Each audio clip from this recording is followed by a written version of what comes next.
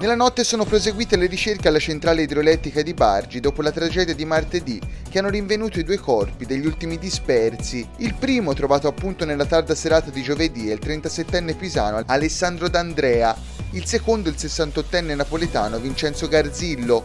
Il bilancio quindi ammonta a 7 morti e 5 feriti. Le ricerche sono state portate avanti dai sommozzatori dei vigili del fuoco.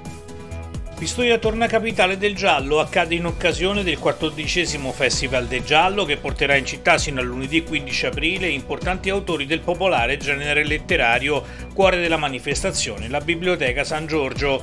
L'apertura nella sala maggiore di Palazzo Digiano dove si è guardato alla realtà e al futuro dell'investigazione tra gli ospiti il vicecapo della polizia Antonio Rizzi e la criminologa Anna Maria Giannini. In occasione della giornata pistoiese, ospite del Festival del Giallo, il prefetto Vittorio Rizzi, vice capo vicario della polizia, ha visitato la questura di Pistoia. Qui ha incontrato il questore Marco Dalpiazzi, funzionari, le organizzazioni sindacali ed una rappresentanza del personale della Polizia di Stato e dell'amministrazione civile dell'interno. Nell'occasione al prefetto è stato donato un manufatto in ceramica realizzato dai ragazzi della Fondazione Mike di Pistoia.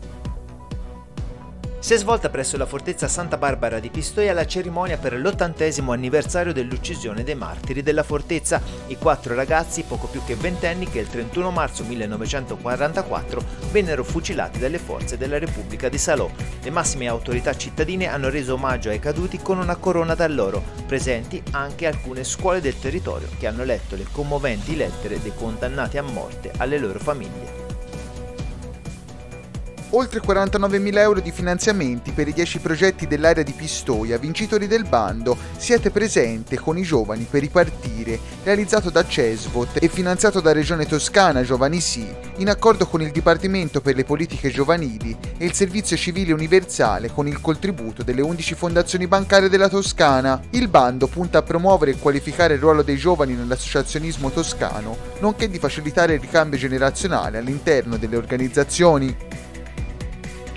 Il coach della Estra Pistoia Nicola Brienza ha presentato la sfida di domani sera a Pesaro. I biancorossi scenderanno sul parquet alle 20.30 con l'obiettivo playoff e per riscattare la sconfitta dell'andata, forse la peggiore gara giocata al Palacarrara.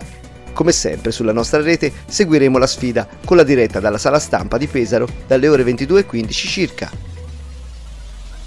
Ancora forti dubbi sullo svolgimento della partita di domenica alla Melani Pistoiese San Giuliano City. L'unica cosa certa è che se si giocherà sarà sicuramente a porte chiuse perché la società non ha fatto richiesta del servizio antincendio.